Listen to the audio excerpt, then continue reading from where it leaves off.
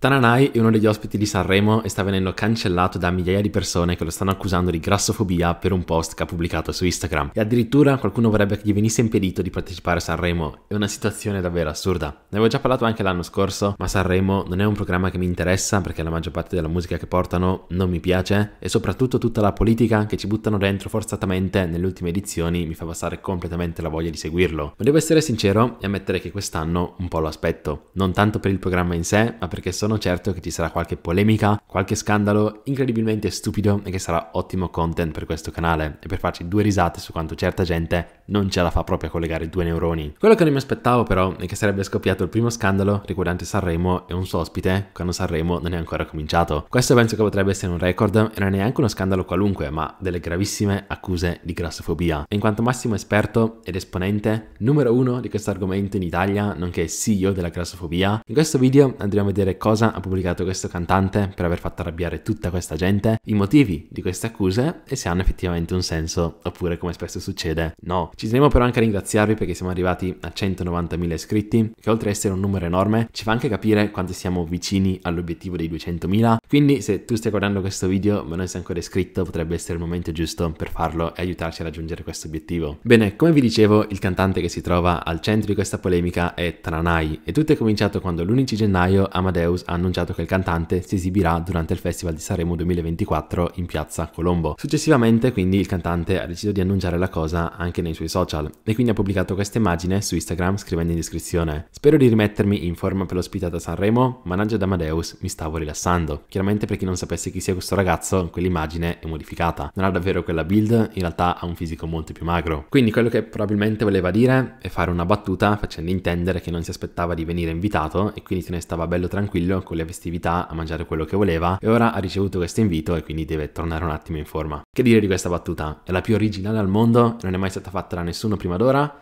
Chiaramente no. È una battuta esilerante per cui sbellicarsi dalle risate? Nemmeno questo. Ma è una battuta offensiva che sta insultando qualcuno? Decisamente No. Ma ovviamente non tutti la pensano così. Nonostante il post abbia superato i 120.000 like in circa due giorni, quindi a tanta gente è piaciuto, se si aprono i commenti c'è l'inferno, al punto che anche i giornali si sono messi a scrivere degli articoli su questo caso. La foto sovrappeso ritoccata, devo tornare in forma per Sanremo, lo accusano di grassofobia. Pubblica una foto sovrappeso ritoccata e polemica, gli utenti lo accusano di grassofobia. Nel mirino dopo la foto in sovrappeso ritoccata, cantante accusato di grassofobia. È probabile che in questo momento vi starete chiedendo le ragioni di queste accuse, per quale motivo questo questo post sarebbe così offensivo o addirittura grassofobico? Beh, la ragione la scopriamo addentrandoci nei commenti e ne leggeremo anche qualcuno di quelli con più like per capire le critiche più condivise. Per esempio c'è questo che per pura casualità ha 104 risposte, che strana casualità veramente, e insomma ci dice questo. Fammi capire, se fossi realmente diventato una persona grassa, vuol dire che non potresti più fare musica, scrivere belle canzoni e andare a Sanremo? Vuol dire che ti vergogneresti a farti vedere in tv, che tra l'altro allarga, vuol dire che non potresti più riempire gli stadi con i tuoi fan che cantano le canzoni a squarciagola? Interesting.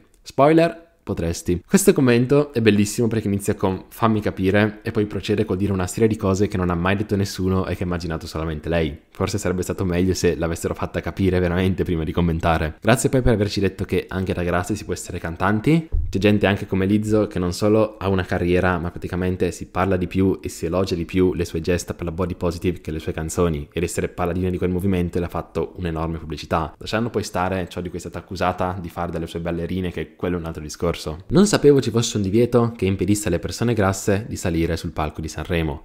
Cancella! Questo addirittura alla fine si permette di dargli gli ordini e di cancellare il post perché poverina si è offesa e quindi giustamente gli altri devono essere censurati. Io invece non sapevo che ci fosse un divieto di pubblicare dei post ironici su Instagram perché altrimenti qualche moralista se la prende un po' troppo. Altro commento, anche questo fantastico, ci dice questo. Mi ero fatto un'idea migliore di te. Evidentemente, sbagliata. Forse non lo sai, ma le persone possono andare a Sanremo anche se sono grasse. Possono fare una vita come tutte anche se sono grasse e meritano rispetto come tutte. Non certo questo umorismo di bassa lega e offensivo. Mi spiace solo per i tuoi fans che per la maggior parte immagino siano giovani. Se fossi una ragazzina grassa e venissi ridicolizzata dal mio idolo, starei malissimo. Ma evidentemente non hai la sensibilità per rendertene conto. Ragazzi, provate per un attimo a immaginare il processo mentale del vedere un meme come questo di uno che ti dice che si è rilassato troppo e che deve tornare in forma. E la cosa più normale che ti viene in mente di fare è scrivere un papiro come questo accusandolo di cose che non ha mai detto. Davvero, questa gente è di una pesantezza inaudita. E non intendo solo di chili, anche se molti di quelli che se la sono presa sono in un bulk abbastanza aggressivo, ma intendo proprio come ragionamenti. Immaginate uscire con persone così.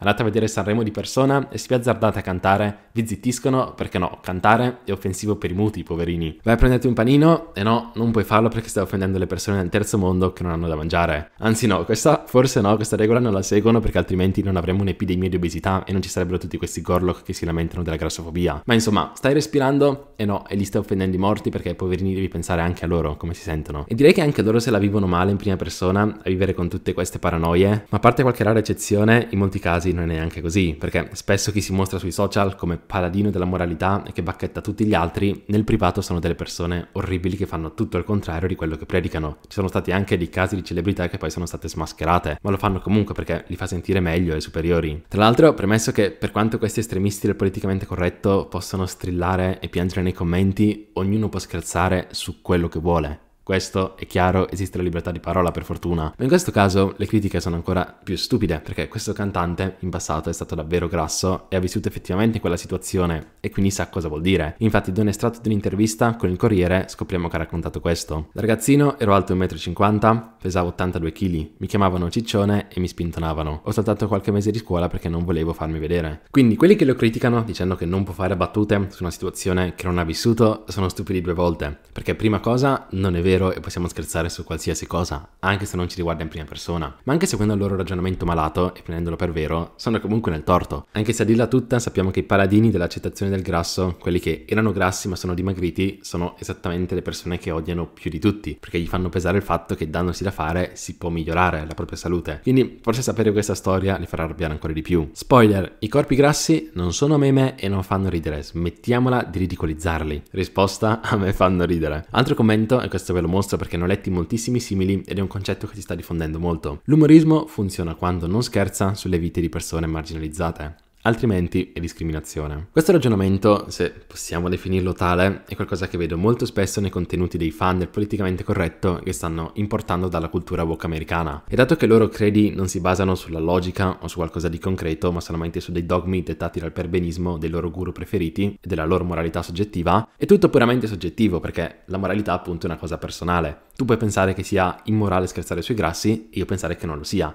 chi ha ragione, chi si offende per primo, purtroppo non funziona così. Ma dato che questa gente vuole imporre la propria moralità e quello che pensano e mettere quindi il bavaglio a chi la pensa diversamente, quello che fanno è letteralmente cambiare il significato delle parole per assecondare la loro moralità. L'abbiamo visto anche in molti altri casi, tipo la parola donna o uomo, ma in questo caso è l'umorismo che ci viene detto che non è umorismo, ti si scherza su persone marginalizzate perché in quel caso è discriminazione. Questa è una stronzata colossale. Umorismo non vuol dire quello. Si può fare umorismo su qualsiasi cosa e su qualsiasi persona. Al massimo puoi dire che a te non piace, ma ti posso anche dire che con tutto rispetto non me ne frego né merito cazzo. Che poi anche sul discorso persone marginalizzate ci sarebbe da parlarne, ormai tutti vogliono essere parte di una categoria oppressa e quindi si inventano etichette di tutti i tipi. Per esempio, i grassi non sono nemmeno lontanamente oppressi nel nostro paese. Tra gli indignati nei commenti c'è anche la ex di Damiano dei Maneskin, io lei onestamente non la conosco, non so quello che faccia nella sua vita e nei social perché appunto non la seguo, ma è incredibile che tutte le volte in cui mi è capitato di sentirla nominare e per delle polemiche di questo tipo, ho visto anche che pubblicato delle storie sull'argomento, ma sono un'infinità. Le righe in alto che mostrano quante storie mancano sono letteralmente dei puntini